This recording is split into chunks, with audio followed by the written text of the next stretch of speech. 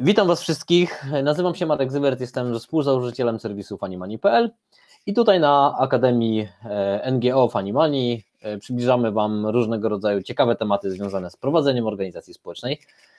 E, z takich ciekawostek, które chciałem Wam dzisiaj przekazać, to dzisiaj wychodzi e-mail do wszystkich organizacji, które są zarejestrowane na Fanimani i które są zarejestrowane w naszym newsletterze dla organizacji z materiałami na kwiecień.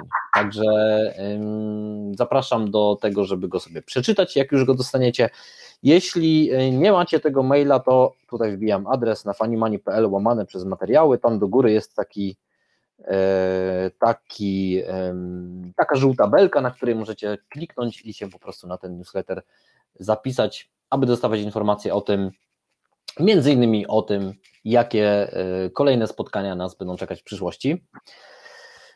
Dzisiaj temat e, bardzo ciekawy. Ja będę zamieniał się w słuch, e, bo dzisiaj będziemy rozmawiać o ochronie marki. Tak, na dobrą sprawę, o, ja, ja, to, ja to nazywam o w sumie chyba można powiedzieć ubezpieczeniu, tak? Bo jeśli czegoś nie zrobimy dzisiaj, to będzie, możemy mieć problem w przyszłości. Ja już zamieniam się w słuch, oddaję Tobie głos, Aniu. E, dzień dobry, tutaj witam wszystkich bardzo serdecznie. E, po pierwsze, Marko, dziękuję serdecznie za zaproszenie.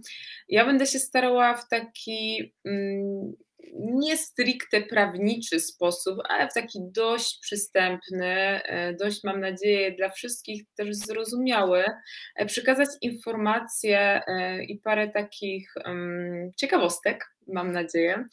Jak wygląda kwestia dotycząca ochrony marki? Czy to jest istotne, czy to nie jest istotne? Kiedy to jest naprawdę ważne? Tak, żeby wszyscy z Państwa po zakończeniu naszego spotkania e, widzieli, jak to wygląda w praktyce, e, jak rzeczywiście zastosować to prawo, aby siebie ochronić, żeby siebie zabezpieczyć e, i aby nie mieć jakichś problemów przyszłości, które czasem mogą się pojawiać, co dzisiaj również zostanie e, przedstawione. Tym samym, ja na początku będę się posiłkowała prezentacją. Prezentacja nie jest długa, będę starała się e, streścić to, co jest najistotniejsze, ponieważ Mam nadzieję, że później sobie jeszcze chwilę na ten temat porozmawiamy. Jeżeli będą jakieś wątpliwości, będą jakieś pytania, jeżeli coś powiem niejasno, proszę mówić. Ja zawsze mówię, że nie ma głupich pytań. Jeżeli coś jest niezrozumiałe, to ewentualnie wina prowadzącego, że źle to wytłumaczył. Tym samym proszę śmiało e, pytać, dopytywać. Jestem tutaj też e, do Państwa e, dyspozycji. Ja tak wtrącę w międzyczasie, że jeśli będziecie chcieli zadawać pytania, to tutaj w tym oknie czatu, czatu macie takie coś, zadaj pytanie. Wtedy będzie nam łatwiej te pytania później wyciągnąć i je zadać i na ten temat porozmawiać. A druga rzecz jest taka, że ustaliliśmy z Anią, że najpierw jest, będzie prezentacja, na której Ania wszystko powie, a pytania będą na końcu. Tak jak wspominaliśmy, zajmiemy się dzisiaj ochroną marki, czyli e, jak to tutaj Marek bardzo ładnie nazwał, mądry Polak po szkodzie, czyli jak chronić nazwę i markę organizacji. Dlatego, że mam nadzieję, że wszyscy się dzisiaj dowiemy o tym, jeszcze nie przechodzę do tego slajdu, że czasem lepiej się zabezpieczyć e, niż później ewentualnie mieć z tego tytułu, jakichś tam kwestii prawnych problemy. Od razu mówię, przywołane przeze mnie przykłady, proszę nie traktować tego personalnie, jeżeli część z Państwa zostanie tutaj wymieniona, albo jeżeli jakiś kolega, koleżanka o kimś powie, dlatego że e, ja takimi przykładami posiłkowałam się namacalnymi, e, nie zatajając żadnych danych, e, ponieważ e, to jest wszystko, co dzisiaj zobaczą Państwo, to jest coś, do czego my wszyscy mamy dostęp. A ja ewentualnie powiem, jak przed tym się uchronić, jak tutaj, jak zrobić tak, aby nie doszło do jakichś naruszeń. Pewnie Szlachetna paczka jest wszystkim nam dobrze znana. Ja akurat nie wiedziałam, wpisałam sobie Fundacja Szlachetna Paczka. Dosłownie wczoraj zrobiłam ten print screen, dlatego że myślałam, że to jest fundacja, a nie stowarzyszenie, ale tutaj nie o to chodzi. E, były też inne naruszenia, to jest takie za nami organizacja, też my ją wspieramy co roku, organizując te szlachetne paczki. E, tym samym e, tutaj sobie pozwoliłam to wpisać. Jak wszyscy mogą zauważyć, po wpisaniu frazy Fundacja Szlachetna Paczka pojawił nam się cztery inne reklamy. I teraz pytanie takie zasadnicze pojawia się, czy to jest dozwolone, czy to jest niedozwolone, czy ja mogę wykorzystywać frazę, e, tak naprawdę nazwę innej organizacji w celu wykupienia Google Adsów, czy można robić tak zwaną reklamę ukrytą, w oparciu o e, czyjeś właśnie znak towarowy, czy w oparciu o czyjąś nazwę. O tym wszystkim sobie dzisiaj powiemy. Jedyne, co chciałabym powiedzieć już na samym początku, to proszę sobie wyobrazić taką sytuację. Co za zasady? Mówię mojej znajomej albo znajomemu, że słuchaj, jest super organizacja, jest super tutaj fundacja, nazywa się, przypuśćmy właśnie Szlachetna Paczka, przekaż pieniądze na tą fundację, e, dlatego, że warto ich wspierać. No to sobie tam ta moja koleżanka e, wpisuje, patrzy, pierwsza pozycja, która wyskakuje, wchodzi, przekazuje pieniądze i tyle. Po czym się okazuje, że to wcale nie była ta, ponieważ kliknęliśmy w takie Google Adsy, kliknęliśmy w reklamę e, i nie zdawaliśmy sobie sprawy, że nie przekazujemy pieniędzy na cel, na który tak naprawdę chcieliśmy przekazać. Po to jest ta ochrona marki, po to to wszystko jest, aby przed takimi zabiegami się uchronić. Od razu ja Państwu powiem na samym początku. Tego typu zabiegi, czyli reklamy typu Google Ads z wykorzystaniem czyjejś nazwy, co do zasady jest mogą być naruszeniem czyjegoś prawa ochronnego na znak towarowy, o ile mamy zabezpieczone i co potem za tym idzie, czynem nieuczciwej konkurencji, ale do tego sobie jeszcze wrócimy, żeby na początku zobaczyć, jak to wygląda. Print screen wczoraj wykonany. Jeżeli ktoś mi nie wierzy, można sobie w oknie incognito wpisać i sobie też takie, też takie wyszukiwania zobaczyć. Oczywiście też to jest uwarunkowane, na jakie strony wchodzimy, czy wchodzimy na strony różnych fundacji i tak dalej, i tak dalej. Na samym początku, co to w ogóle jest ten znak towarowy? Już to powiedziałam, już to wymieniłam, że jest jakaś ochrona marki, jest jakiś znak towarowy. Najprościej rzecz sobie tak ujmując i nie idąc tak czysto kodeksowo, że znakiem towarowym jest takie oznaczenie, które umożliwia nam odróżnienie towarów lub usług jednego przedsiębiorcy od towarów lub usług drugiego przedsiębiorcy. Czyli po to są te nazwy, po to są te znaki towarowe, które się potem rejestruje, żebym ja wiedziała, co to jest fani mani i mogła odnaleźć sobie czy szlachetną paczkę, czy woźb, czy cokolwiek tutaj innego. Żebyśmy my tak naprawdę mogli zlokalizować czy danego przedsiębiorcę, e, czy w jakikolwiek sposób dany podmiot, do którego chcemy dotrzeć. A co za tym idzie, wiąże się oczywiście z szeregiem dalszych konsekwencji, które to za tym pociąga. E, najprościej rzecz ujmując, wzięłam sobie przykład tutaj Marka, e, czyli Pani Mani, jako że pewnie Państwo doskonale znają tutaj e, też ten podmiot, żeby sobie wyobrazić, czym są znaki towarowe i jakie są najczęściej spotykane, to jest oznaczenie słowne, czyli samo słowo Fanny Mani. Nieważne, jak ja to zapiszę, czy dużymi, czy małymi literami, jeżeli ja sobie zarejestruję taki znak, takie oznaczenie jako słowne, mam całą ochronę na tą frazę, czyli Nikt nie może stworzyć domeny internetowej o takiej nazwie. Nikt nie może jej wykorzystać w żadnych reklamach, o czym już teraz wspomniałam na samym początku. Czy to reklamy jawne, czy to reklamy ukryte typu Google Ads, e, czy wykorzystanie to właśnie w domenie, gdzie już tutaj jedna osoba nam ten Gmail tak zwany e, przywołała. Też ciekawy case, do tego chciałabym jeszcze później e, wrócić. I w tym momencie, jeżeli to jest dany stricta działalność, czyli właśnie różnego rodzaju fundacji, i zbliżona, to my mamy ochronę i my mamy wyłączność, monopol na tą frazę. Czy chcemy nawet stworzyć jakieś konta na Instagramie, na innych social mediach, Facebooku, nie Facebooku, jakieś billboardy, e, chcemy jakieś materiały reklamowe, nikt inny tego nie powinien wykorzystać. I teraz drugie, e, co często pewnie Państwo sobie mogą zauważyć, taka ereczka w kółku się pojawia, mamy e, zarejestrowany znak towarowy przy logotypie czyli inaczej oznaczenie słowno-graficzne, gdzie podlega ochronie tak naprawdę kolorystyka, czcionka, grafika, wykorzystanie, kompozycja i również wszelkiego rodzaju wykorzystanie tego w zdjęciach, nie zdjęciach, w internecie, nie w internecie, na materiałach reklamowych, promocyjnych czy do własnego tutaj użytku, to wszystko jest chronione. I tego rodzaju właśnie oznaczenia najczęściej są rejestrowane. Jeszcze tutaj z grafiką, jeżeli mamy jakąś grafikę, jakieś pojawia coś fajnego, tutaj fantazyjnego. E, I najczęściej też możemy spotkać w obrocie. Też, żeby pokazać e, Państwu, co może podlegać e, rejestracji, wzięłam sobie tak pod lupę właśnie Wielką Orkiestrę Świątecznej Pomocy, która ma zabezpieczone póki co teraz w tym momencie prawa. E, I mamy to serduszko, Wielką Orkiestrę Świątecznej Pomocy, mamy WOŚP i mamy też różnego rodzaju oznaczenia słowne, gdzie Jurek Owsiak jest tutaj z tego znany, czy typu siema, oj będzie się działo, czy gramy do końca świata i jeden dzień dłużej ponieważ te hasła reklamowe, te slogany różnego rodzaju my też możemy zabezpieczyć. Czy to dotyczy tego rodzaju działalności, mm, czy to jest, nie wiem, McDonald's, tutaj I'm loving it, czy KFC, finger licking good, e, tego wszystkiego rodzaju slogany my też sobie możemy zabezpieczyć. Jako, że jesteśmy zdani, chcemy być z tego zdani i nie chcemy, żeby nikt inny nam wykorzystał, to w taki fajny sposób możemy mieć również monopol na daną frazę, monopol na dane oznaczenie graficzne.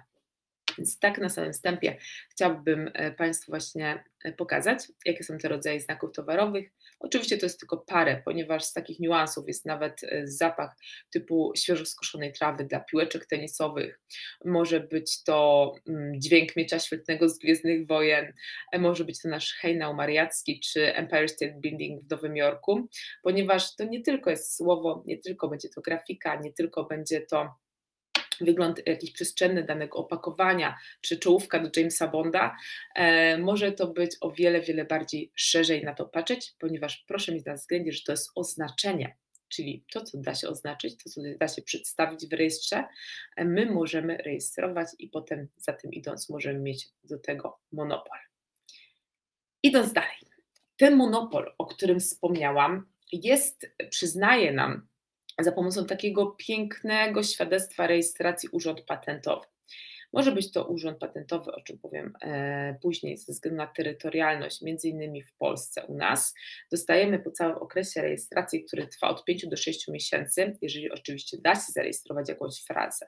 Jeżeli tu nam prawnik zbada, że ok, wszystko jest w porządku i sobie rejestrujemy, tu uzyskujemy monopol, świadectwo ochronne i w tym momencie możemy się cieszyć tym absolutnym e, monopolem e, co do danych klas towarów i usług, do czego jeszcze wrócę.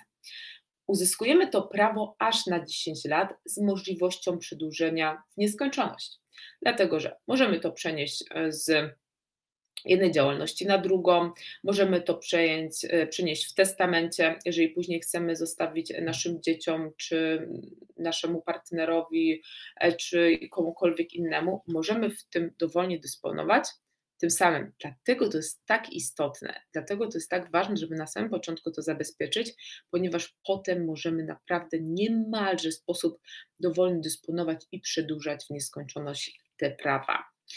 Oczywiście e, to jest wszystko związane z zakresem terytorialnym i jeżeli jesteśmy tutaj organizacją w Polsce, no to oczywiście najlepsze będzie zabezpieczenie tych praw w Polsce w naszym Urzędzie Patentowym RP, ale możemy działać od razu na całą Unię Europejską e, w Urzędzie Unii Europejskiej do Spraw Własności Intelektualnej w Alicante, a możemy, jeżeli tak chcemy, działać również na cały świat i różnego rodzaju organizacje takie są, e, czy to organizacje charytatywne, e, czy dotyczące jakiejś ekologii, obrony tutaj praw zwierząt, czy dotyczące walki walki z głodem na całym świecie, gdzie rzeczywiście ten zakres jest niemalże na wszystkie terytoria, w, tutaj w urzędzie Unii, e, przepraszam, urzędzie World Intellectual Property Office, czyli w WIPO, gdzie mamy rzeczywiście za pomocą takiego porozumienia madryckiego możliwość rejestracji niemalże na cały świat. Więc tak to wygląda, e, jednakże to, co ja polecam, żeby zacząć chociaż lokalnie, chociaż mieć zabezpieczone te prawa w Polsce, ponieważ jeżeli my mamy w Polsce, to już nikt inny nam nie może zgłosić na Unię Europejską, ponieważ jako, że my jesteśmy państwem członkowskim Unii Europejskiej jest to wyłączone. Powiedziałam, że powiem dwa słowa odnośnie tak zwanej klasyfikacji. Co to w ogóle jest ta klasyfikacja, jak to wszystko wygląda w praktyce. Trzeba mieć na względzie, że jeżeli e, my rejestrujemy dane oznaczenie, my chcemy uzyskać monopol, to, to mamy ten monopol uzyskiwany w danej klasie towarów i usług. Czyli taki najprostszy przykład, jeżeli byśmy chcieli mieć e, nasze Funny Money, e, które Państwu jest bardzo dobrze znane, i zarejestrować jako fundację, no to możemy rejestrować to właśnie jako fundację, czy ze względu też na merchandising, chcielibyśmy mieć jakieś akcesoria, chcielibyśmy mieć jakieś misie, nie misie, pluszaki, materiały reklamowe, też do tego można zarejestrować. No ale jeżeli ktoś sobie stwierdzi, że otworzy sobie warsztat samochodowy o takiej nazwie, no a my tym, e, że tak powiem, nie jesteśmy zainteresowani, to może się pojawić, że później drugi podmiot nazwie sobie w jakiś podobny sposób taki warsztat samochodowy. Powiedzmy sobie szczerze, jest to dość abstrakcyjny przykład, jednakże wolę tak go przywołać, żeby Państwo wiedzieli, że my to rejestrujemy do tego, czym się my naprawdę zajmujemy, co naprawdę stanowi właśnie nasz przedmiot działalności. Ciekawostką jest tak zwany właśnie renomowany znak towarowy, czyli że mamy organizacje znane na całym świecie, e, które rzeczywiście są e, takie mm, mówiąc najprościej, renomowane, one mają tą ochronę bez względu na terytorialność, czyli bez względu, bez względu na klasyfikację, czyli nie jest istotne, czy zarejestrują sobie e, tylko i wyłącznie dla pluszaków e, i dla jakichś właśnie organizacji e, pozarządowych, czy ogólnie dla wszystkiego, ale tą ochronę ze względu na renomę tą Renault oczywiście budujemy cały czas, możemy e, mieć przyznany monopol bez względu na tą tak zwaną klasyfikację. Idąc dalej. Ciekawa bardzo rzecz dotyczy właśnie udzielania różnego rodzaju licencji. Dlaczego? Dlatego, że jeżeli my sobie zarejestrujemy taki znak towarowy, trzeba mieć na względzie, że my potem możemy komuś dać licencję, czyli udzielić pozwolenia na to, żeby posługiwał się naszą nazwą. Czyli w innym kraju może sobie stworzyć podobną organizację, może e, podobną fundację, może w jakikolwiek sposób wykorzystywać, a my z tego możemy sobie czerpać jakieś korzyści finansowe ze względu na to, że jako my, że mamy monopol, to możemy komuś innemu pozwolić to wykorzystywać. Fajne rzeczy tutaj się dzieją, rzeczywiście e, jest to tak wykorzystywane. Mamy, możemy mieć jakiś dodatkowy dochód też z tego tytułu tych opłat licencyjnych, jeżeli udzielimy komuś pozwolenia, ponieważ proszę pamiętać, tak jak już wspomniałam, jeżeli my mamy do tego prawa, to nikt nie może nam tego prawa wykorzystywać i nikt nie może wykorzystywać i występować pod nazwą, którą my mamy zarejestrowaną jako znak towarowy. Jest takie zjawisko tak zwanych troli internetowych. Trochę humorystycznie to przedstawiłam, ale nie jest to niestety nic fajnego, nie jest to nic pozytywnego. Jest to coś, przed czym e, fajnie się zabezpieczyć, dlatego że obowiązuje zasada kto pierwszy, ten lepszy, o której wspomniałam. U nas w Europie, kto pierwszy wymyśli daną frazę i zabezpieczy ją jako znak towarowy, ma do niej prawo ze względu na to, że są takie trole internetowe, wykorzystując różnego rodzaju zjawiska, czyli między innymi taki cyber squatting, e, który polega na rejestrowaniu jak największej ilości domen internetowej, a potem ją odprzedaży. Oczywiście domeny te są bardzo podobne e, do zarejestrowanych już e, znaków towarowych. No, markę pewnie, nie wiem, Renault Państwo wszyscy znają, byśmy zamiast Renault, Renault i w tym momencie mamy już taki tak zwany akurat tutaj tape squatting. Ja nie chcę wchodzić w takie pojęcia bardzo um, techniczne, bardziej e, tak bym powiedziała, ale chodzi o to, że by Państwo wiedzieli, że mając ten monopol, my możemy temu można powiedzieć w taki sposób, możemy się przed tym zabezpieczyć i my możemy to wykorzystać w walce z osobami, które nagle nam potworzą mnóstwo domen internetowych, z taką samą nazwą, tylko innym rozszerzeniem, czyli zamiast było, nie wiem, fanimani.pl to fanimani.eu, tutaj trochę tego przykładu dzisiaj podam. E, I w tym momencie my możemy również taką domenę internetową odebrać. I my również odbieramy jako kancelaria, my również zajmujemy się takimi procesami. Tutaj mamy sąd arbitrażowy do spraw domen internetowych dobry sposób e, się to odbywa, e, dość sprawnie to działa i trzeba tylko wiedzieć, że po prostu mamy taką możliwość, dlatego też sygnalizuję, że taką możliwość mamy. W takim telegraficznym skrócie, jeżeli chodzi o korzyści, ponieważ nie chciałabym e, tutaj Państwu bardzo szeroko o tym opowiadać.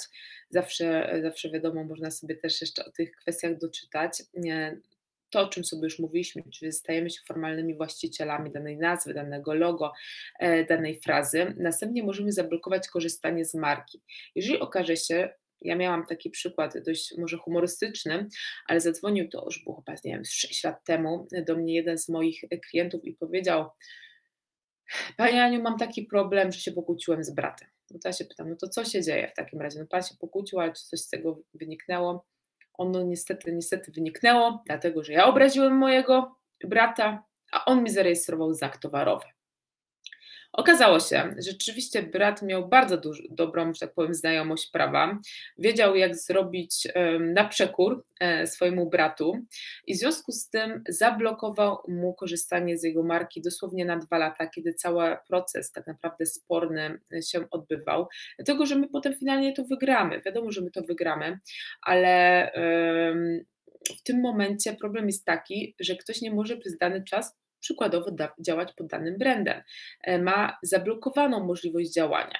Można w bardzo. Mm, nieuprzejmy sposób e, komuś e, tutaj e, uprzykrzyć funkcjonowanie między innymi w internecie, więc na to zwracam tutaj też Państwu uwagę. Dalej idąc mamy kontrolę nad zagranicznymi partnerami, czyli jeżeli rzeczywiście my byśmy wychodzili na jakiś rynek europejski czy dalej, to w tym momencie również możemy sobie kontrolować, czy nikt nam nie wykorzystuje danej nazwy, czy nikt się nie podszywa, czy nikt w żaden sposób nie działa nieuczciwie. Następnie ułatwia nam to przeniesienie prawa do marki. Dlatego, że tak naprawdę, jeżeli byśmy chcieli coś przenieść, no to my przenosimy prawo do danej nazwy, do danego logotypu, ponieważ my z tego jesteśmy znani. My pod tym występujemy i przez to również nas kojarzą e, tutaj e, nasi e, czy konsumenci, czy odbiorcy, czy ludzie z nami współpracujący. O ochronie domeny internetowej już mówiłam, o blokowaniu reklam tekstowych Google Adsa wspominałam, ponieważ my później możemy blokować takie osoby, tak jak ten pierwszy przykład, który dzisiaj Państwu pokazałam, żeby takich działań, e, żeby do takich działań nie dochodziło, a przynajmniej później jeszcze walczyć z takimi osobami, czy na przykład nawet żądać zapłaty opłaty licencyjnej ze względu na jakieś korzyści, które dana osoba sobie e, uzyskała i ze względu na to, że ktoś występuje pod naszą nazwą. Na Allegro, e, jeżeli tutaj Państwa bardziej się nie tyczy, chyba że chcielibyśmy, nie wiem, jakiś bardziej merchandising, kwestia tego, e, tutaj jak ma między innymi WOŚP z Allegro, ale na Allegro też jest fajny e, tutaj system blokujący, na social mediach typu Facebook, Instagram również fajne korzyści z tego można mieć. Opowiem Państwu taki jeden, e, jedną z spraw spornych, e, która miała miejsce, to już będzie 3 lata temu. Jest o tyle ona ciekawa, ponieważ pod względem tej domeny internetowej. Sytuacja wyglądała tak, muszę tutaj dokonać anonimizacji danych osób, dlatego, dlatego też takie postaci z prezentacji tutaj występują, ale o tyle jest to ciekawe, ponieważ był sobie pan, który prowadził działalność przez już jakiś czas e, prowadził razem z swoim synem, młodym synem, który miał 21 lat i ze swoją synową, która też bardzo młoda, młoda osoba, 21 lat, e, również miała. Jako, że e, tutaj tata stwierdził, że młodzi są bardziej tutaj bardziej z większą łatwością im przyjdzie ta domena internetowa, te social media, to tą domenę internetową stali się abonentem na siebie, dokładnie syn stał się abonentem tej domeny internetowej i również, i również samych kont na social media. Sprawa wyglądała tak, że akurat niestety synowa była przekorna temu, żeby dzielić się korzyściami z tatą i zaczęła tak dość mocno swojego męża wiercić mu tą dziurę w brzuchu, że a może tatę odłączyć od, od, biznesu, no w sumie to tata dał nam pieniądze, a ten biznes w sumie to on prowadzi, w sumie e, to on poświęca czas, ale my to zrobimy lepiej, odłączmy go od tego. No i w pewnym momencie ten syn niestety, niestety, niestety uległ namowom swojej małżonki e, i stwierdził, że odłączy tatę od domeny internetowej, od social mediów jako że biznes, jako że biznes tej organizacji wyglądał tak, że za poza tak naprawdę tym światem wirtualnym nie istnieli, no to w tym momencie e, ten, ten tata został bez jakiejkolwiek możliwości działania. Wkroczyliśmy jako kancelaria i zaczęliśmy patrzeć. No wiadomo, jest to synowco, żadnych umów z synem nie było, żadnych tak naprawdę e, nawet SMS-ów, wiadomości mailowych nie było, ponieważ e, nasz klient nie lubił pisać ani SMS-ów, wolał sobie porozmawiać przez komórkę i tyle. E, ja sobie zobaczyłam, że akurat jedyne, co miał nasz e, tata, e, później nasz klient, to jest kwestia zarejestrowanego znaku towarowego, co mu jego wspólnik polecił, tak przy okazji na terenie Polski, żeby zrobił. I za pośrednictwem tylko i wyłącznie tego jednego małego, można powiedzieć, znaku towarowego, my byliśmy w stanie przyjąć tą domenę internetową, social media niemalże 24 godziny byliśmy w stanie przejąć, zablokować, a ja tutaj mówię o polubieniach rzędu pół miliona takich naprawdę osób, które śledziły, więc ta, ten, ten twór, ta organizacja nie była mała. Tym samym też, żeby Państwo mieli świadomość, jak to wszystko wykorzystać. Wiadomo, mm, że nie wszystko trzeba od razu robić, ale wydaje mi się, że już świadomość tego, że tak można zadziałać, jest bardzo istotna. Przy okazji, wszelkiego rodzaju naruszenia też e, tak sygnalizuje, że to jest zawsze czyn nieuczciwej e, konkurencji. Jeżeli my się pod kogoś podszywamy, jeżeli mamy już ten znak towarowy, to możemy naruszyć niemalże dwie ustawy zarazem i też z tej e, ustawy mieć stosowne później roszczenie. Ale to już tak bardziej trochę prawniczo i tak tylko na marginesie czy jeżeli mamy zastrzegając tą markę firmy, zyskujemy narzędzie do walki właśnie z tą nieuczciwą konkurencją, możemy żądać odszkodowania za naruszenie znaków towarowych. Łatwiej nam oczywiście też dochodzić do tych roszczeń, ponieważ proszę mieć na względzie, jak mamy już to świadectwo rejestracji, to jest niemalże tak, jakbyśmy szli do notariusza. Notariusz nam podbija, to jest tylko i wyłącznie nasze. Tak samo urząd nam to, to podbija, jeszcze w lepszy sposób, dlatego że daje nam na ten monopol przy okazji, weryfikując cały ten proces. Jak już to jest nasze, o to możemy działać, możemy zamknąć tak zwany słoiku, czyli biznes, dlatego że nie będzie mógł działać na danym polu e, pod tą daną nazwą, czy wykorzystanie takiego samego tutaj logotypu, grafiki, też kolorystyki itd., tak itd. O odłączeniu dostępu do domeny internetowej sobie powiedzieliśmy, wyłączenie Facebooka, Instagrama, przyjęcia też wspominałam. Mamy wykorzystanie cudzych zdjęć, projektów, wzorów, też oczywiście możemy z tym walczyć i Google, reklama jawna i ukryta. Tak podsumowując te nasze wszystkie rozważania na ten temat. Ciekawy przykład. E, podejrzewam, że część z Państwa już o tym słyszała, czyli o festiwalu, a może część nawet była, na festiwalu Woodstock, e, jeszcze e, do niedawna Woodstock, a teraz Pol and Rock Festival. I dlaczego tak się stało? Dlaczego był właśnie Woodstock i nagle trzeba było zmienić tą nazwę? Tak dla przypomnienia, tutaj mamy Pol and Rock, tak obecnie to wygląda. Jak widać, została mm, ta czcionka podobna e, zachowana i też w podobny sposób to wygląda, ale nazwa jest zupełnie inna. Sprawa tutaj wyglądała tak e, i tutaj dla Państwa mm, opublikowałam tak naprawdę wypowiedź e, pana Jurka Owsiaka, gdzie 23 lata korzystali z tak naprawdę licencji na wykorzystanie organizatorów amerykańskiego Woodstocku, na wykorzystanie tego nazwy, tego znaku towarowego. E, niestety sytuacja była taka, że mm, wyczerpała się możliwość korzystania z tej nazwy, ponieważ przyjęła to organizacja amerykańską inna, E, inna organizacja komercyjna, tak naprawdę komercyjna agencja, która proponowała zupełnie inne zasady korzystania z marki amerykańskiego festiwalu i kazała zapłacić sobie tą opłatę licencyjną, o której ja już Państwu wspomniałam. Dlatego, że za tym idą różnego rodzaju wydarzenia, organizacja, e, wykorzystanie tego bardzo, bardzo szeroko.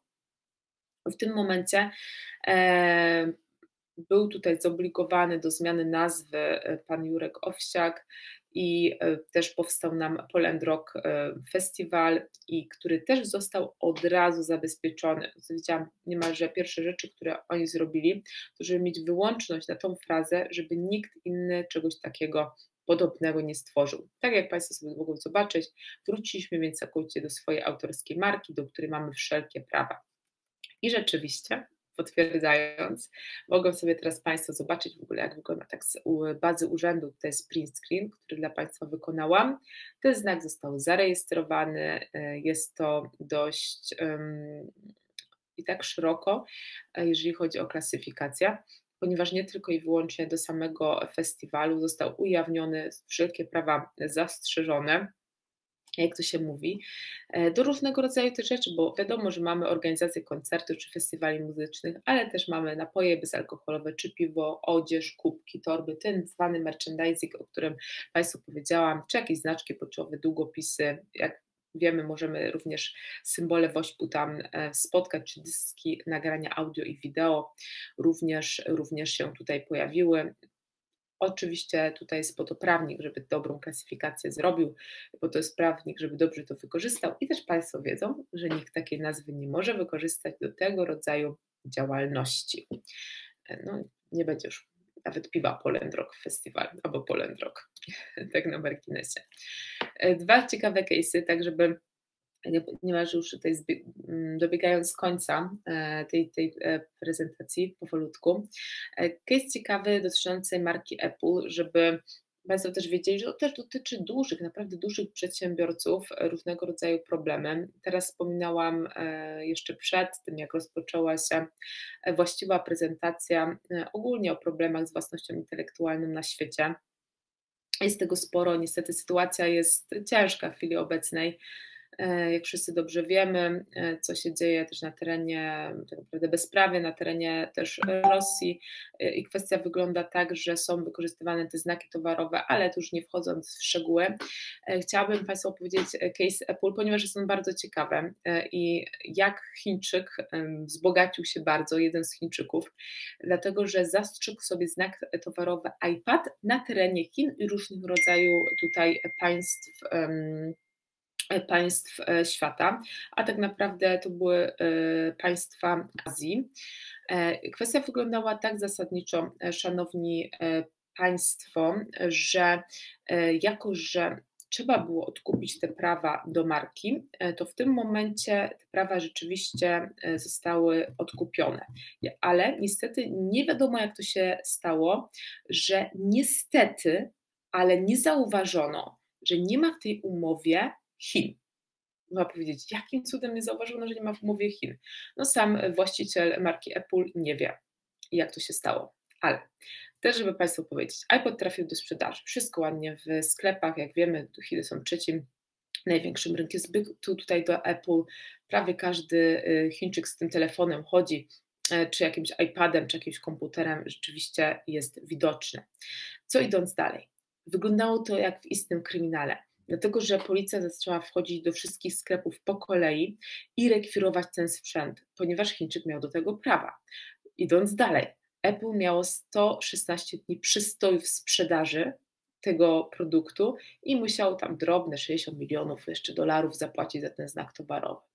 Więc tutaj mówimy na gruncie takiego dużego e, podmiotu, ale wydaje mi się, że sprawa jest o tyle ciekawa, że ją tutaj przywołuję.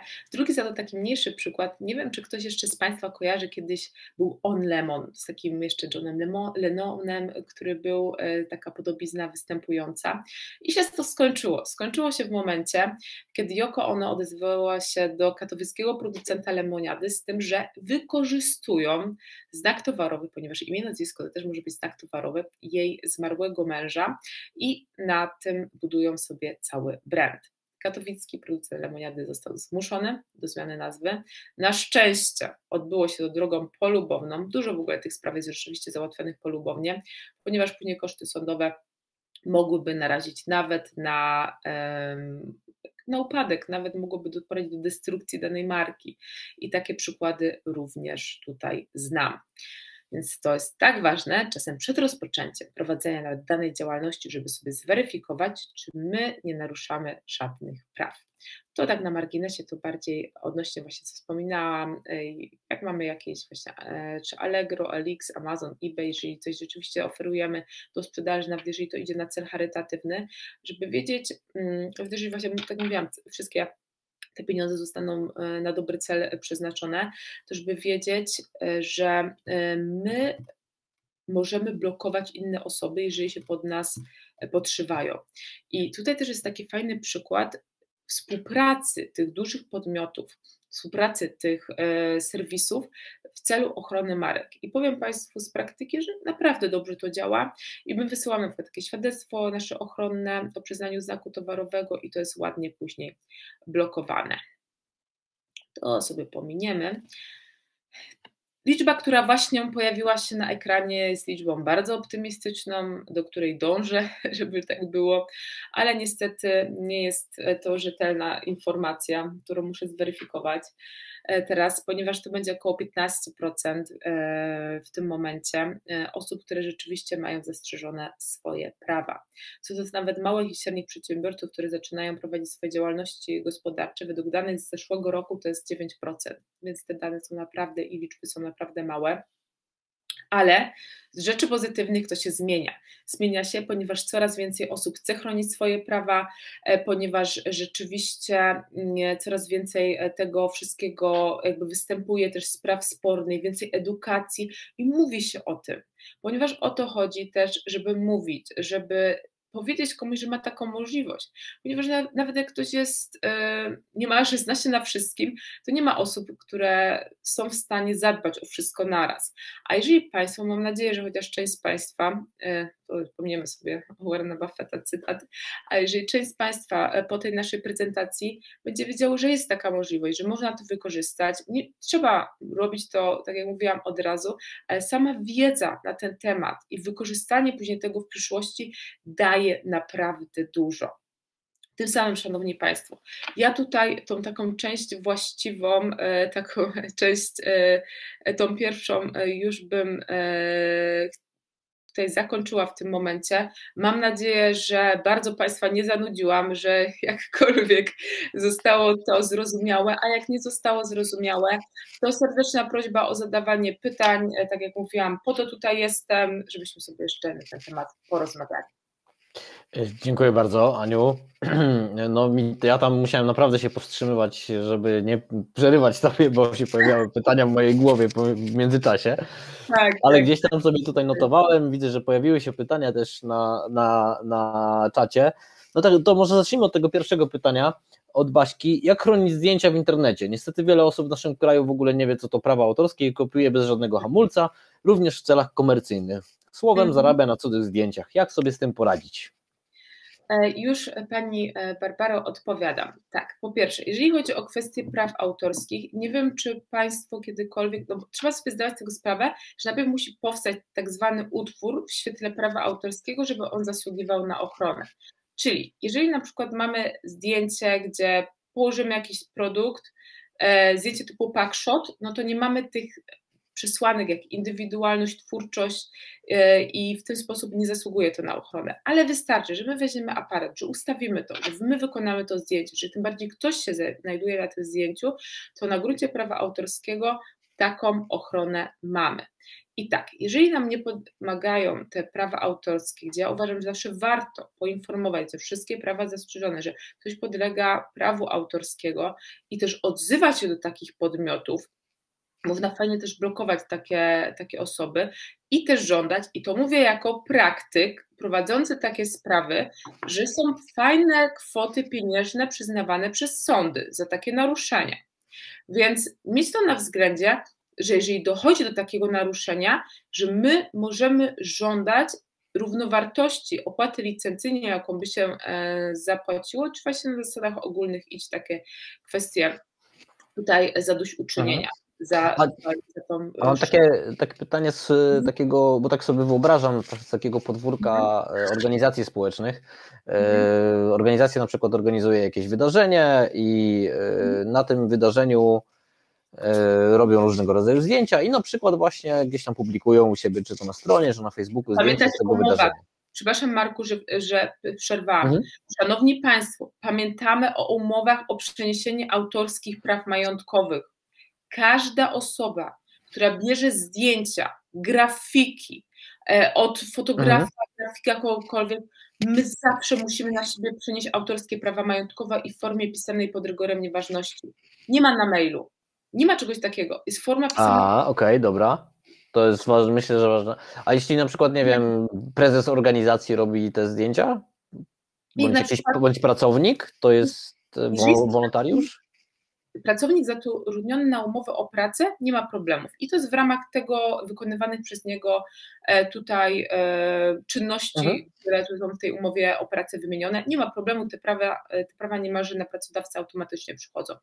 Ale jeżeli jest to osoba trzecia, nie zatrudniona na umowę o pracę, nawet, nawet jak jest na B2B, zawsze umowę pisaną. Jest taki wzór umowy mhm. o przeniesieniu autorskich praw majątkowych.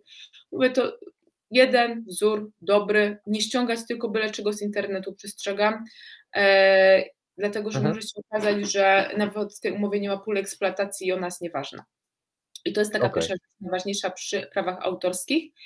e, żeby, żeby dysponować dowolnie tym logotypem, dowolnym zdjęciem i żeby też przerabiać, bo proszę mieć też na względzie, kolejna rzecz spraw autorskich, może nie jest to przedmiotem naszych dzisiejszych, dzisiejszego spotkania. Takie pytanie, takie pytanie powstało ale powstanie, e, dokładnie powstało pytanie, że jeżeli my ingerujemy w jakkolwiek w to dzieło, e, w ten utwór świetle prawa autorskiego, to również trzeba mieć zgodę. I to też powinno być ja zawsze jak tworzę takie umowy dla moich klientów, zawsze wpisuję, że tworzenie utworów zależnych również e, jest możliwe i mhm. również mam tego prawa. Okej, okay, a tak wracając trochę do pytania, do pytania Basi, e, czy y, takie zdjęcie z wydarzenia, nieważne jak gdyby co ono przedstawia, czy tam są mhm. ludzie, czy, czy nie ma ludzi, zdjęcie, organizacja zrobiła, robiła wydarzenie, zrobiła jakieś zdjęcie, czy takie zdjęcie z wydarzenia też może być i jest objęte prawem autorskim, czy ono, nie wiem, czymś szczególnym tak. musi się wyróżniać? Żeby... Takie zdjęcie, e, co do zasady powinno być, bo znaczy jak ja znam takie zdjęcie z wydarzenia, to ten jednak utwór świetle prawa autorskiego powstaje nam. Dodatkowo mogą na przykład Państwo założyć właśnie swój logotyp czy znak wodny, a jak ten znak wodny jest zabezpieczony jako znak towarowy, to tak naprawdę, że nie dość, że mamy naruszenie praw autorskich, ktoś to nam skopiuje, to jeszcze mamy naruszenie prawa ochronnego na znak towarowy, więc tak naprawdę mhm. mamy jeszcze podwójne roszczenie. A idąc potem przez na przykład Facebooka, jeżeli ktoś wykorzysta nasz znak towarowy, tak jak mówiłam, mamy piękne blokowanie. Wystarczy, że świadectwo im wyślemy, wypełnimy prościutki formularz i wszystko jest zdejmowane. Mhm.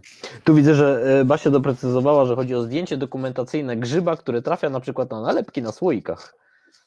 A, e, sekundkę, zdjęcie dokument grzyba. Aha, to jest jakiś grzybek, który trafia na nalepki na słoikach, tak? Mhm. No tak to, tak to rozumiem, tak, dokładnie. Okay. No taki, taką grafikę można sobie zarejestrować i wtedy ma się monopol na nią. To nie ma najmniejszego problemu. No, okay. to, no to, jest, to, jest, to jest ciekawe. No to jest super sprawa. Nikt nam tego nie może wykorzystać w żaden sposób. Okej, okay. to, to mi to też troszeczkę rozjaśniło, że faktycznie te pola eksploatacji, czy, czy pola eksploatacji to pewnie bardzo zbyt szczegółowe, prawne. Za, zaraz pewnie powiesz, że, że, że, chodzi o coś innego, bo ja nie jestem prawnikiem, więc użyłem nie. słowa pola eksploatacji i okej. Okay. Dobrze, to jak gdyby ten zakres tej ochrony jest dużo szerszy niż my sobie wyobrażamy. Dokładnie tak. I tutaj mam takie pytanie, które ja chciałem zadać od początku, od momentu, kiedy w ogóle się pojawił pomysł tego, tego spotkania dzisiejszego, okay. czyli e, pytanie od e, Olgi Janaszek. E, co zrobić w momencie, gdy powstają kolejne, o mogę chyba zrobić tak, opublikuj, co zrobić, gdy powstają kolejne organizacje o tej samej nazwie co nasza, jeśli teraz zarejestrujemy nazwę, czy istnieje organizacje, e, istniejące organizacje poniosą jakieś konsekwencje. Tutaj ja może troszeczkę doprecyzuję, bo znam troszeczkę sytuację. Fundacja, Fundacja Podaj Dalej ma 18 lat, jest pełnoletnia, niedawno obchodziła urodziny, a niedawno powstały organizacje, które mają e, to samo w nazwie, tak?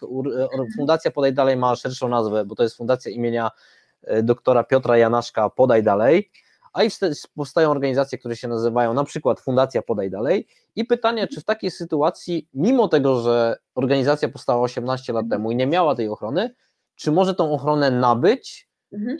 też troszeczkę wstecznie, tak, czyli mhm. zabezpieczyć swoje, swoje prawa? Mhm.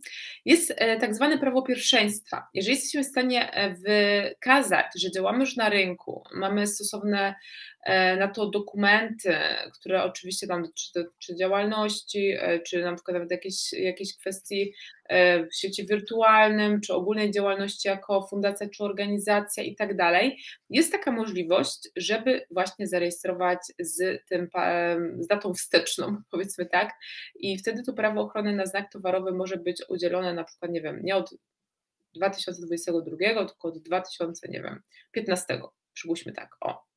Mhm. Więc taka możliwość istnieje jak najbardziej. E, jest troszeczkę bardziej skomplikowany proces rejestracji, ale jest jak najbardziej możliwy.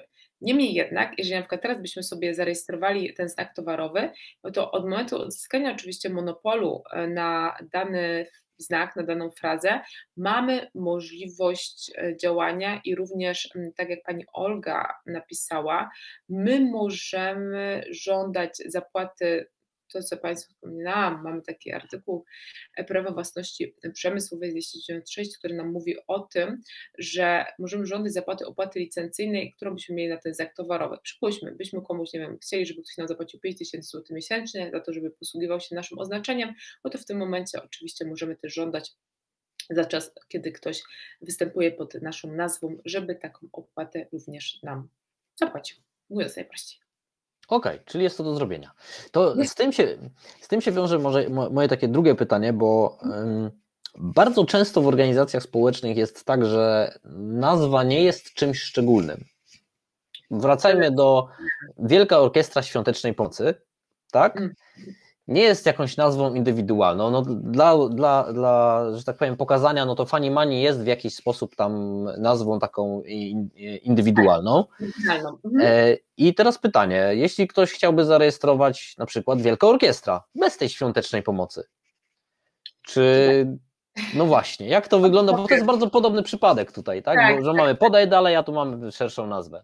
Tak, to, są, e, to jest bardzo dobre pytanie, dlatego że co do zasady powinniśmy o tym wiedzieć, że my możemy rejestrować nazwy, które są w jakikolwiek sposób oryginalne, e, mówiąc tak najprościej, czyli które nie wskazują na między innymi przedmiot działalności, czyli nie jestem w stanie zarejestrować nie wiem, nazwy fundacja, prawda? E, mhm. Ale jestem e, w stanie zarejestrować nazwę, przykład żabki. Żabka można powiedzieć słowo znane wszystkim, ale żabka nie kojarzy się nam ze sklepem spożywczym, prawda? W tym momencie taka możliwość rejestracji istnieje. E, czyli e, nawet jeżeli ktoś nazwie jakimś zwierzątkiem, mówiąc najprościej, swoją e, fundację, może ją zarejestrować. Jeżeli mamy WOŚP, no to w skrócie WOŚP, no to wiadomo, skrót nam nic nie mówi, ale jest Wielka Orkiestra Świątecznej Pomocy, gdzie można powiedzieć, że nie ma to takiego charakteru odróżniającego, prawda? Przy Wielkiej Orkiestrze, Orkiestrze Świątecznej Pomocy, oto mamy spełnioną tą przesłankę, oni mają o tyle dobrze, że e, są znani, prawda? Są zrenomowani, więc mają tak zwaną, mogą nabyć wtórną zdolność odróżniającą, czy przez to, że istnieją na rynku, przez tyle lat, przez to, że są rozpoznawalni, no to mogą uzyskać to prawo ochronne na znak towarowy. Ale jest jeszcze jeden sposób. Czyli zamiast rejestrować tutaj nazwy, rejestrujemy wtedy logotyp z wykorzystaniem tej nazwy, co daje nam większą zdolność odróżniającą. I w tym momencie, jako że jest to element całości ktoś by stworzył coś, ja teraz muszę to zaznaczyć, jak my uzyskujemy prawo ochronne na znak towarowy, uzyskujemy na znaki takie same i podobne. I to jest bardzo istotne. Znowu e, posługując się Fanimani, nie może ktoś Fanimanis dać, albo Fanimanix, albo Fanmani. Nikt nie może czegoś takiego stworzyć, jeżeli fraza Fanimani jest chroniona. Ponieważ mhm. mamy tutaj w tym momencie monopol na tą frazę i na frazy podobne. Więc e, nawet rejestrując, tak jak powiedziałam, ten logotyp, czy oznaczenie słowno-graficzne, możemy walczyć w jakiśkolwiek tutaj fajny sposób z naszą nieuczciwą konkurencją. Okej, okay, no to, to czyli czy, czy mm, dobrze rozumiem, bo, bo chciałbym, żeby tutaj była jasność. Oczywiście. E, taki przykład. E, ta Wielka Orkiestra Świątecznej Pomocy ma zarejestrowane mm, właśnie, ma zarejestrowany znak słowno-graficzny w obszarze, no właśnie, pytanie, czy w ogóle jest taki obszar, jak, nie wiem, działalność społeczna, tak? Mhm. I w tym momencie, jeśli ktoś chciałby zarejestrować albo wykorzystywał Wielka mhm. Orkiestra w tym samym obszarze, czyli w obszarze działalności społecznej, mhm. to pytanie, czy nas to chroni? Tak. No i chyba wszystko na ten temat. tak, bo to tak jak pokazywałam e, wszystkim tutaj, e, jak na przykład sobie do tak zwanego merchandisingu, bo oni mają szerzej, prawda, czy jakieś koncerty, czy wydarzenia chcemy tak, robić. Tak. Wiele, wiele, z organizacji robi wydarzenia, tworzy, prawda, e, mniejsze lub większe, ale jednak. Czy jakieś, no tworzymy jakieś akcesoria, jakoś zbieramy te pieniądze na tą organizację, czy jakieś misie się pojawiają, czy jakieś inne gadżety, czy cokolwiek innego, to również można sobie ładnie zabezpieczyć. Mhm. Okej. Okay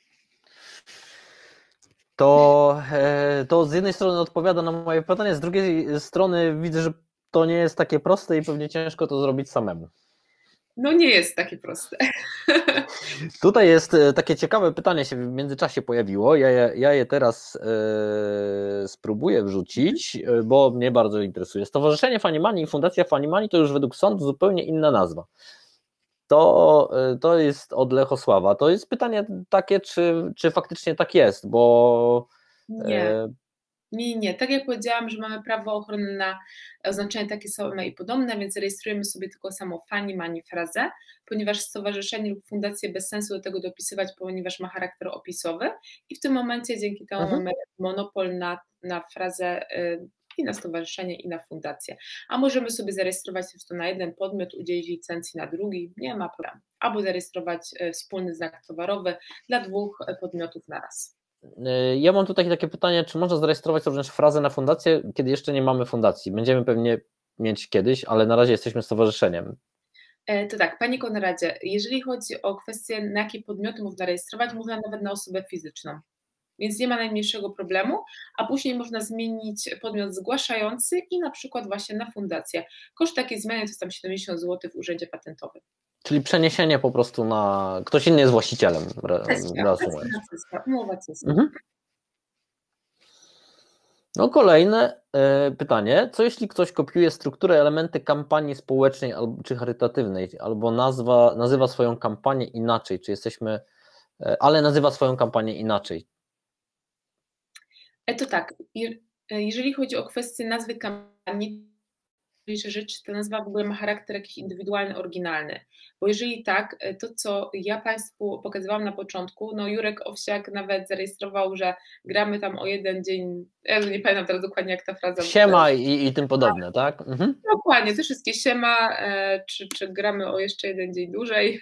Mhm jest taka możliwość e, jak najbardziej e, tej rejestracji. E, nie ma, i tutaj w tym momencie, czy to ma charakter opisowy, czy jest na przykład nazwa, no nie wiem, tutaj kampania jakaś, kampania przeciwko, w walce przeciwko czemuś, albo dla zbiórka pieniędzy dla dzieci, albo cokolwiek takiego, co nie ma charakteru indywidualnego, oryginalnego, no to wiadomo, że nie, mało co jesteśmy w stanie zrobić, a praktycznie nic. Ale jeżeli to jest fajne, oryginalne, to jak najbardziej można podziałać. E, to tak mi przychodzi do głowy jako przykład. E, może to taki, taki w zasadzie claim, tak, czy hasło. E, my w Fanimani mamy wiele okazji do pomagania, tak? Jest to jakieś mhm. hasło, które rozumiem, że może jest ono oryginalne w jakiś sposób. Rozumiem, mhm. że możemy je sobie jak gdyby też dopisać, tak jak sobie Wielka Orkiestra Świątecznej Pomocy dopisała.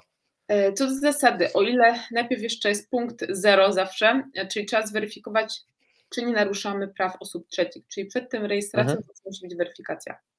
Aha, okej, okay. czyli proces wygląda tak, że to po naszej stronie jest wcześniejsza weryfikacja, tak? Czy... No my zawsze, tak, na zlecenie właśnie naszych, y, tutaj jak ktoś chce coś zarejestrować, to my pierwsze co robimy, to robimy weryfikację, żeby w ogóle wiedzieć, czy jest możliwość tej rejestracji. Dlatego, że na rynku teraz naprawdę jest już gorąco. Dużo podmiotów chce rejestrować swoje prawa, no i wiadomo, że to wszystko się tak trochę zawęża.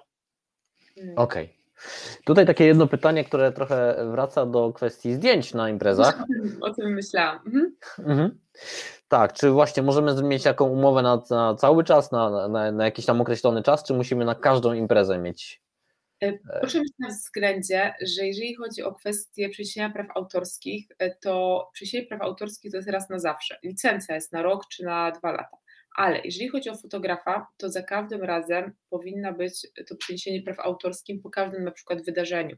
Czyli po każdym wydarzeniu niech ten fotograf nam podpisze ten wzór umowy, które Państwo mają wykonane, czy jakiś, nie wiem, prawnik, czy, czy jakaś kancelaria, niech Państwo taki właśnie wzór wykona, dobre umowy mm, o przeniesienie praw autorskich i za każdym razem dać naszemu fotografowi do podpisania.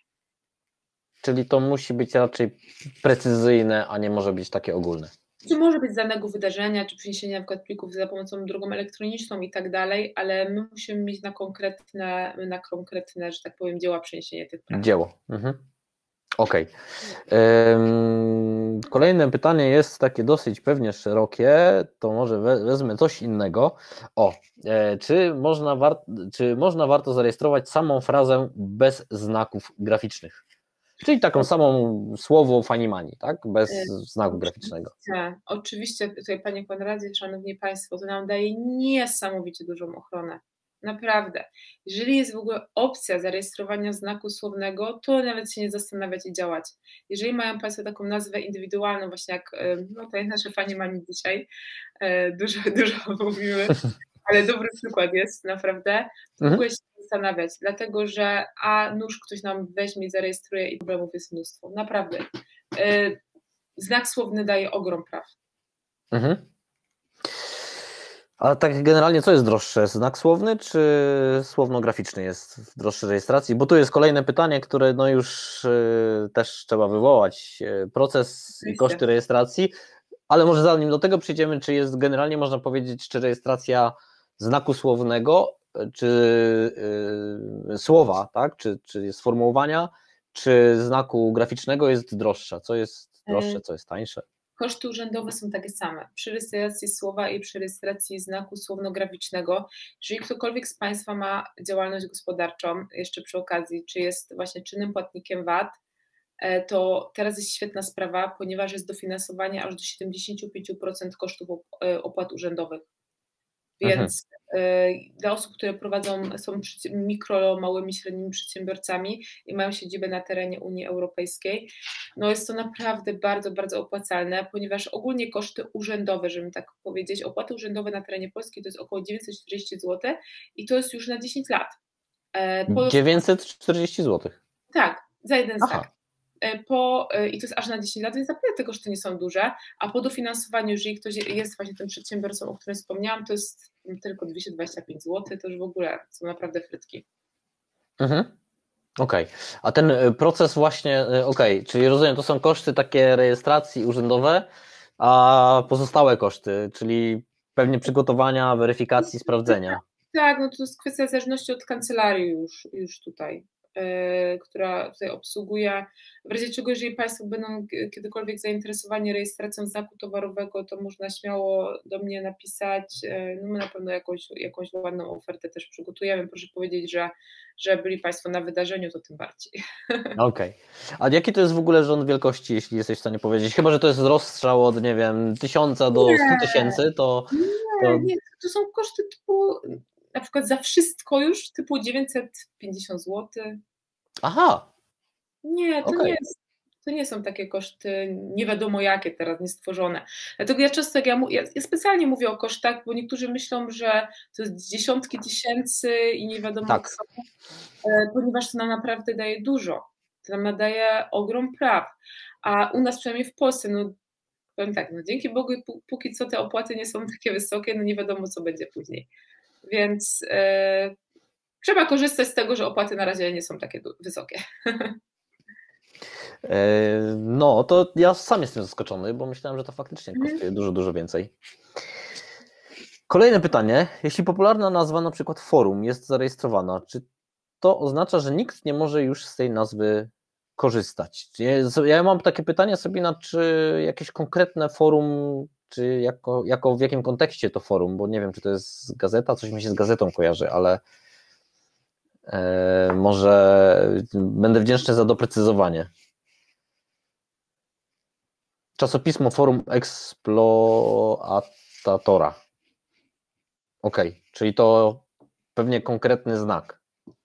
A rzeczywiście jest zarejestrowane, czy to jest takie hipotetyczne pytanie? Jest zarejestrowane. Ok, ale jako słowo, czy jako logotyp? Znaczy ja, ja powiem, jaka jest zasada. No właśnie, o to chodziło Pani Sabino, dlatego, że logotypy możemy zarejestrować i wtedy jest chroniona czcionka, kolorystyka i tak dalej, ale sama warstwa słowna nie podlega ochronie. Przynajmniej w takich znakach typowo um, nie będących mający charakter opisowy, mówiąc najprościej. Okej, okay, czyli osobną kwestią jest słowo, osobną kwestią jest e, znak e, towarowy, e, znak graficzny, logo mówiąc w tak, skrócie. Tak, to jest osobna kwestia. Okej. Okay. I pewnych rzeczy, jak rozumiem, pewnych rzeczy w obszarze rejestracji słowa nie jesteśmy w stanie zrobić, czyli tych takich bardziej e, ogólnych typu forum, tak? Nie zarejestrujemy, jeśli chodzi o słowo, zarejestrujemy, jeśli chodzi o logo. E, I to właśnie, e, właśnie to, co, o, czym, o czym wspomniałam. Jeżeli my na przykład byśmy, tak jak widziałam, już pani Sabina dopytywała, jeżeli my na przykład byśmy totalnie zmienili kolorystykę, grafikę, czcionkę, nie nawiązywali w żaden sposób, a nazwa jest opisowa w danej kasie towarów i usług, to w tym momencie jest możliwość stworzenia czegoś takiego samego lub podobnego, dlatego też znaki towarowe często są um, takie opisowe, są ryzykowne, dlatego że my po prostu możemy sobie nad czymś e, pracować, a potem w praktyce może się okazać, że ktoś sobie stworzy coś bardzo podobnego. No chyba, że jesteśmy już tak znani, że jesteśmy rozpoznawani i mamy tą tak zwaną wtórną zdolność odróżniającą, o której wspomniałam. Okej, okay. to już zaawansowane e, kwestie prawne, jak dla mnie przynajmniej. To jest ciekawe pytanie e, od Dominiki.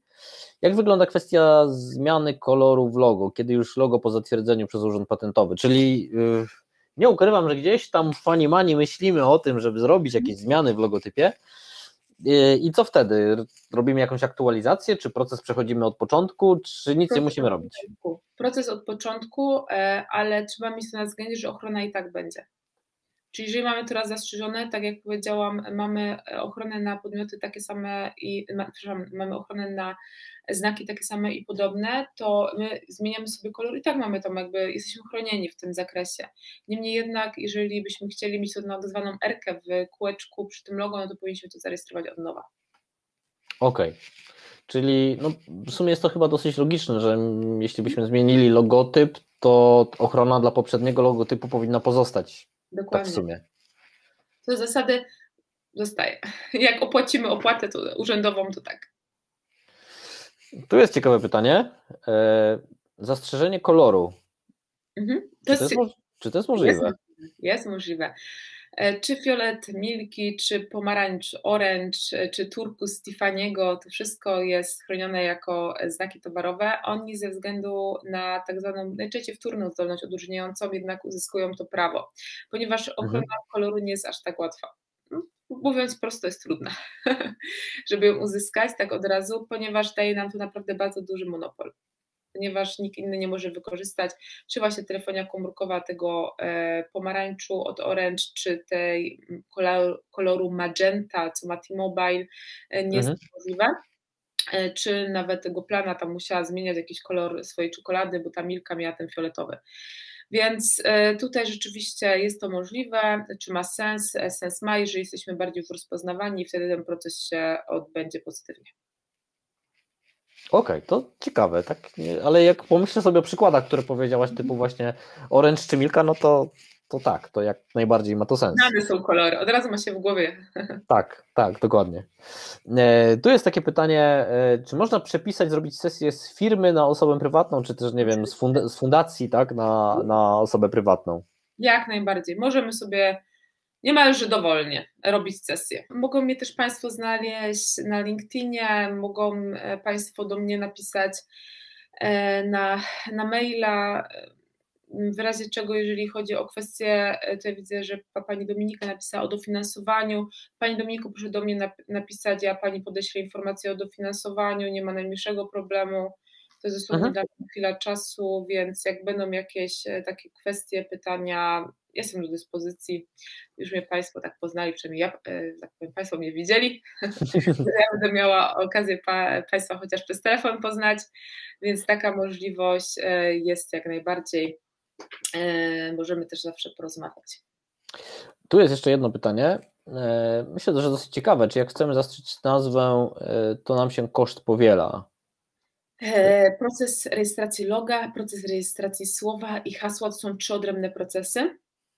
Czyli się powiela. E, tak. E, pytanie, czy rzeczywiście jest taki sens. Najpierw trzeba sobie przeanalizować, tutaj Panie Lechosławie, czy przy Państwa e, na przykład organizacji jest to, rzeczywiście ma to sens, czy będą prawa te przyznane i czy wszystko też będzie w porządku, więc najpierw można sobie zrobić weryfikację, a też dla Państwa, każda osoba, która po tym spotkaniu by miała ochotę, żeby taką weryfikację przeprowadzić, ja mogę Państwa bezpłatnie taką weryfikację zrobić, więc proszę się śmiało do mnie odzywać. Okej, okay, to, to, to, to, to myślę, że jest ciekawa informacja, chociaż kosztowo nieciekawa. Ale odnośnie kosztów, pytanie od Anety, w sumie też mi zrodziło się w głowie, czy fundacje mogą dostać dofinansowania? Wydaje mi się, że tak, tak, jeśli chodzi o te eee, podmioty, zależy, bo... Mhm. Czy, zależy, czy fundacja prowadzi działalność, prawda? No bo tutaj kwestia tego wymogu bycia czynnikiem, płatnikiem VAT, więc wydaje mi się, że raczej nie. Czyli okej, okay, to czyli zależy po prostu od tego, czy fundacja prowadzi działalność i jest płatnikiem VAT. Czy, czy właśnie to kwestia bycia płatnikiem VAT jest. Yy, jest czynnym płatnikiem VAT, żeby mieć dofinansowanie. Żeby mieć dofinansowanie. Ok. Czyli rozumiem, że to dofinansowanie jest związane po prostu z podatkiem VAT. Reasumując. Takie wymogi tutaj zostały po prostu nałożone przez e, Unię Europejską. To sporo wyjaśnia. Gdzie można sprawdzić, czy jest jakiś znak zarejestrowany? Pytanie od Sabiny. Jeżeli czy jest jakaś taka publiczna baza? Mhm. Na, na stronie Urzędu Patentowego e, RP, tu możemy sprawdzić znaki towarowe zarejestrowane w Polsce można sobie wejść tą wyszukiwarkę, tylko trzeba też z niej dość dobrze umieć korzystać, od razu mówię. Jest też taka wyszukiwarka jak TeamView, ale to już w ogóle trzeba umieć z tego korzystać dość dobrze, e, więc tam no trochę będą się Państwo musieli pobawić, w razie czego jak będą chcieli Państwo na przykład sprawdzić, czy Państwa znak jest zarejestrowany, to można, tak jak mówiłam, odezwać się, się do mnie i wtedy, wtedy no, bezpłatnie Państwu mogę to zweryfikować wtedy. Okej, okay. ale rozumiem, że Urząd Patentowy RP to jest miejsce, gdzie powinniśmy po prostu w pierwszej tak, kolejności się... Marka Urzędu Patentowego RP, dokładnie tak. Okej, okay. dobrze, to myślę, że teraz już ostatnie pytanie. Jak stowarzyszenie nie prowadzi działalności gospodarczej, to koszt jest niższy? Takie jest pytanie. Wydaje mi się, że nie ma dofinansowania, bo to chyba gdzieś tutaj ten temat dofinansowania nam się pojawi. Nie, nie, koszty są, opłaty urzędowe e, są wszędzie takie same. Ewentualnie, jeżeli ktoś z Państwa ma działalność gospodarczą, są Państwo płatnikiem VAT czynnym z siedzibą na terenie Unii Europejskiej, no to w tym momencie jest możliwość uzyskania dofinansowania do 75% opłat urzędowych. Okej. Okay. Dobrze, ja myślę, że e, czas już na, już, już na nas. Dziękuję bardzo za mnóstwo ciekawych informacji, które, które się dzisiaj pojawiło. E, ja nie ukrywam, że dużo się też dowiedziałem. E, szczerze powiedziawszy, ja akurat się tym nie zajmuję, ale gdzieś tam dowiem się, jak to wygląda z ochroną marki Fanimani. Myślę, że to jest, to jest, to jest, co jest ciekawe, to właśnie ta ochrona, jeśli chodzi o Google Ads, bo to jest coś, co Naprawdę. Jeżeli ktoś ma przekazać pieniądze innej organizacji, a to taki przykład, który ja podałam, nie podałam przykładu oczywiście, który znam z praktyki, to jest dokładnie przykład z praktyki. Mojej koleżanki, tak. która płaciła niemałą kwotę na fundację, na którą nie chciała wpłacić. Więc Właśnie z tego powodu. Z tego powodu uważam, że jest warto, tym bardziej, jeżeli ktoś ma Panią nazwę. Szanowni Państwo, to ja też chciałabym bardzo podziękować, w razie czego proszę do mnie pisać. Napisać, że byli Państwo na webinarze, to też mi będzie bardzo miło. E, no i jeszcze raz Marko dziękuję za zaproszenie. Dzięki również, wszystkiego dobrego i do zobaczenia na kolejnym spotkaniu. Dobrego dnia. Dzięki. Cześć, hej. Fanimani.pl Wiele okazji do pomagania.